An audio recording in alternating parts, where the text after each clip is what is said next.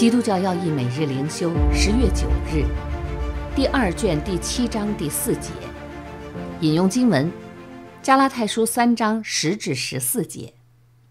律法中的应许并非毫无意义。我们若只是仰望律法，就只能灰心迷惘以致绝望，因为律法定了我们所有人的罪，并咒诅我们。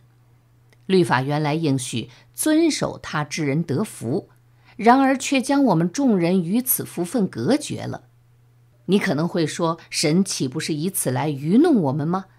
神显示了幸福的盼望，又邀请我们且吸引我们仰望之，向我们保证遵行律法者可得此福。然而最后结果是遥不可及，这与愚弄有何不同呢？答案是。律法的应许是有条件的，律法要求人完全顺服，虽然没有一个罪人能遵守。然而，神赐下律法的应许绝非是突然的，因为借此我们明白了律法的应许是我们靠自己得不到的，唯有神出于他白白的恩典悦纳我们，并且我们以信接受神在福音中所赐给我们的这恩典，我们才能得到律法所应许的。所以，律法的应许虽然附带条件，最终也会成就在我们身上，让我们清楚知道这是唯独恩典。